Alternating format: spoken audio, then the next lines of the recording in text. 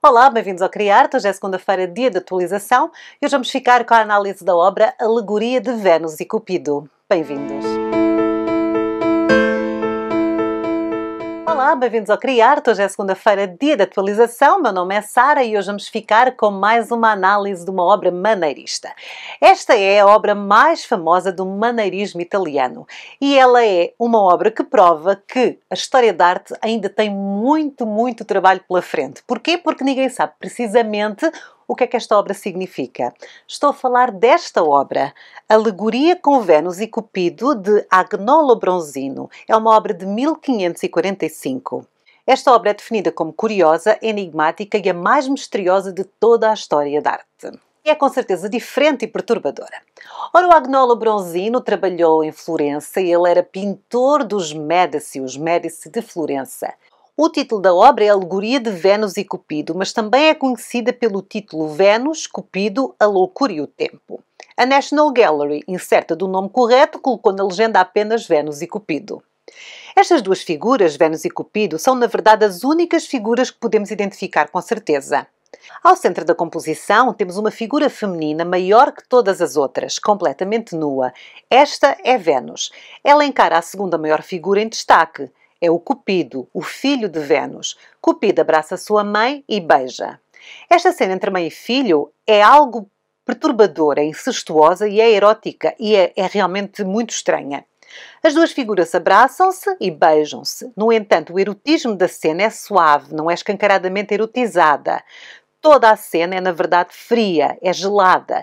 Esta frieza é-nos dada pela distância das figuras. Na verdade, a orelha de Vênus e a bochecha de Cupido são as únicas partes do seu corpo que possuem algum calor. Estão ligeiramente mais rosadas, porque todo o resto do trabalho de cor de pele, de pele aqui nesta obra, é, é assim uma cor quase cinza, é realmente gélida, é fria.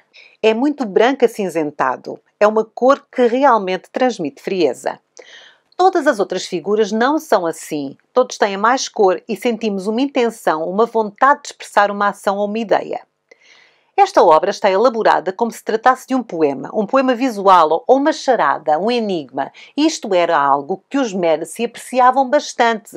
Eles eram pessoas com os conhecimentos mais elevados, eles eram intelectuais e gostavam de demonstrar a sua intelectualidade, não é verdade? E faziam-no muito através da arte. Especialmente o Cosimo di Medici adorava estes temas sugestivos e enigmáticos.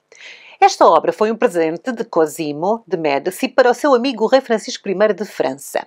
Francisco I era um ávido colecionador de arte e era um grande apreciador do estilo maneirista. Vamos voltar agora à obra e tentar perceber mais um bocadinho. Portanto, reconhecemos Vênus ao centro da obra, primeiro porque está nua, não é verdade, ao centro da obra, e também porque segura na sua mão esquerda uma maçã dourada. A maçã dourada foi um prémio que Vênus recebeu de Paris e que é parte da narrativa da Guerra de Troia do antigo mito grego. Na mão direita, Vênus segura uma flecha roubada a Cupido. Ela desarma Cupido. Isto também é um tema muito recorrente na história da arte.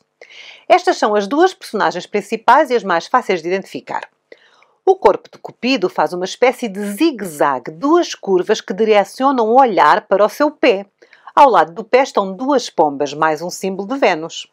O corpo de Vênus cria uma linha da mão direita até aos pés, também uma linha zigue-zague. Estas linhas, estes movimentos distorcidos, constroem esta pintura. São movimentos de desequilíbrio que equilibram a obra e são também os movimentos para fazer a leitura da obra. E são também estes movimentos que determinam muito que esta obra é maneirista, este serpentinado, este zigue-zague dos corpos. Embaixo do corpo de Vênus, ao lado dos pés, temos duas máscaras. Não se sabe o que representam, nem o que estão ali a fazer. No entanto, máscaras é algo associado à mentira, ao engano. Por cima das máscaras temos um jovem nu, uma criança que se prepara para atirar pétalas de flores para cima do casal ao centro. Esta figura pode ser a representação da loucura ou da tolice, muitas vezes pode representar também o prazer.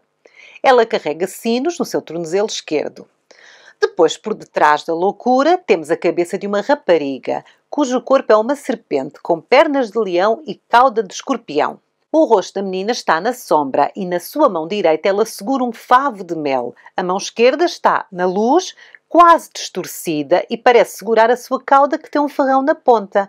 Por um lado, ela segura o mel, símbolo do prazer e da doçura. Por outro lado, ela segura o preço a pagar, o ferrão envenenado. Por cima temos uma figura mitológica. Esta figura é o tempo, ou Cronos.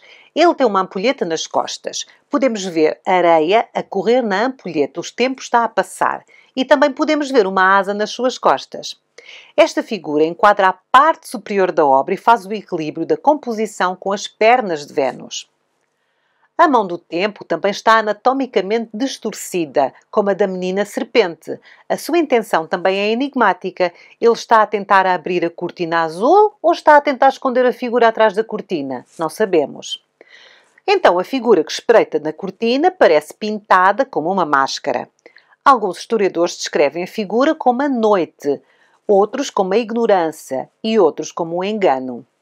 Logo abaixo temos ainda outro personagem que agarra a cabeça com as mãos e grita. Os pesquisadores identificam esta figura como a sífilis, aqui o custo do prazer. Temos então a loucura de um lado, o arrependimento do outro. Toda a obra sugere ser um quebra-cabeças intelectual, algo com múltiplos significados, o oposto das obras renascentistas.